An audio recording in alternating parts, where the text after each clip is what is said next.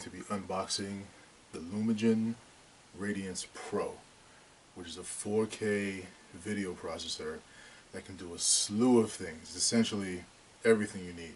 Uh, this Pro model is the 4446. It comes with uh, 18 gigahertz cards, uh, which are important for certain devices. Um, so we're, we're going to go ahead and unbox it, and then we'll show it in the rack.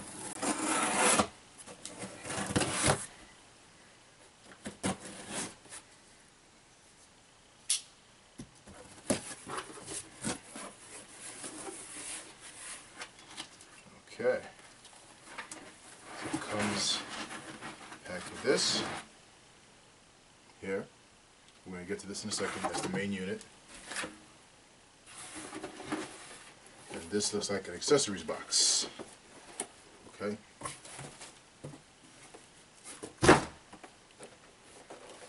Okay. And in the accessories box, let's see what we get. Okay. Get the power cable, the remote, which looks very similar to the one I had for the Radiance Mini 3D. It may be the same remote model. The, oh, okay. This is the other part of the power cable. Called the oh USB.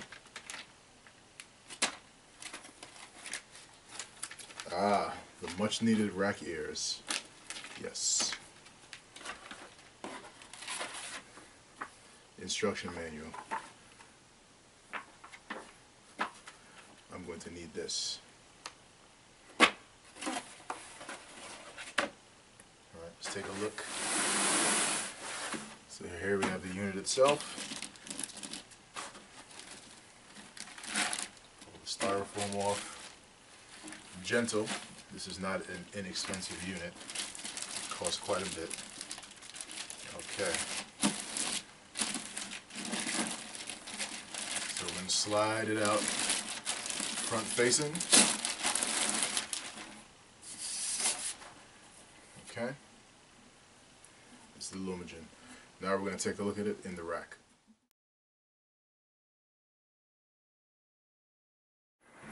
So with this the Lumagen, you take out these two screws and you replace them with the screws supplied. They are a little longer than the ones that come that, that come with the chassis and they have a, um, a raised head as opposed to a flush head. So we're just going to go ahead and remove these.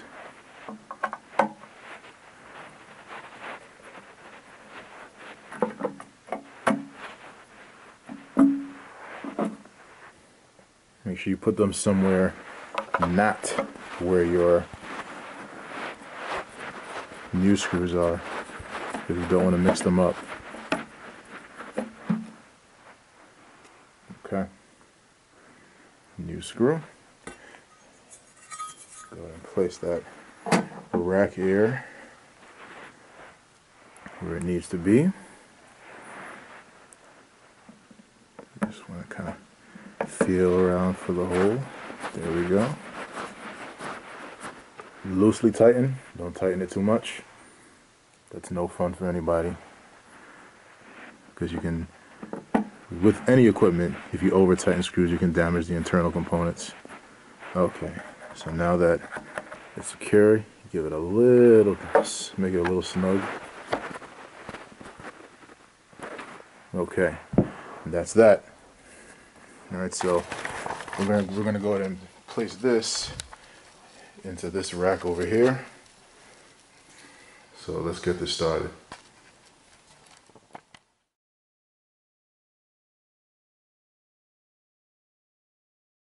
It's time to get this party started.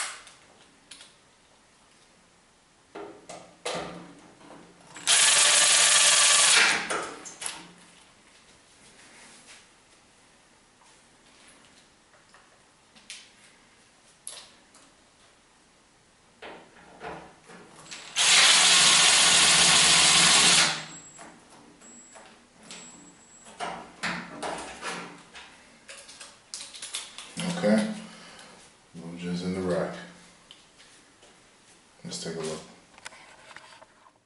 Okay, here we are in the equipment room. Here's a quick look at the rack so far. Um, so this is a Lumagen Pro, Radiance Pro.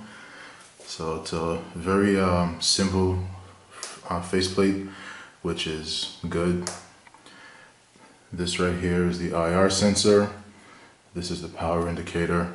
We just have some you know, like a Radiance Pro 4K video processor, HDMI, and Darbee Visual Presence for 2K content. I never, never thought I'd see the day where 1080p is now 2K because it's been superseded by 4K. All right, let's take a look at the back of the Radiance Pro. Okay, here we have the rear of the Lumagen Radiance Pro. So let's take a close look because there's some things that I think are important to get here. Uh, first, see the fan vents. Uh, this unit does have a fan. It, it can run hot. Um, and uh, I know that it has a temperature sensor, so uh, just be mindful um, where you're placing this. If you're placing this in a living room, then try to keep it as ventilated as possible so that you keep the fan noise to a minimum. Now let's go. Let's look at the inputs and the outputs here. so each input and output is uh, designated as either 18G or 9G. So this unit, let's take a look here. Input one, it's 18G. Input two, three and four are 18G. Input five, six, seven, and eight are 9G, which is a gigahertz. Uh, this is the RS-232, IRN, USB. That's the power. Now we go to the outputs. We see here outputs one and two are 18. I'm sorry, output one is for audio. Output two is 18 gigahertz.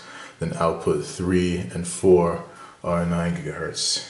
Up here we have two triggers. I'm sure I'll be using the, these triggers to turn my projector on because there's no reason for the projector to be off if the video processor is on. Uh, that's how I had it set up in my previous theater with my Radiance Mini 3D. That's how I'm going to set it up here. So we're going to go ahead and uh, get this audio output is going to be sent up to this Anthem Anthem uh, AVM60. That's literally the only input that this Anthem is going to see on the HDMI side. Uh, this is meant to be your HDMI switcher. So all of my devices are going to be plugged into the Lumagen and the Lumagen will do the video switching. It has the audio output. So you really, you, I mean, it really is a nearly an all-in-one device. So everything goes in here, audio output to the Anthem AVM60, done deal, that's it.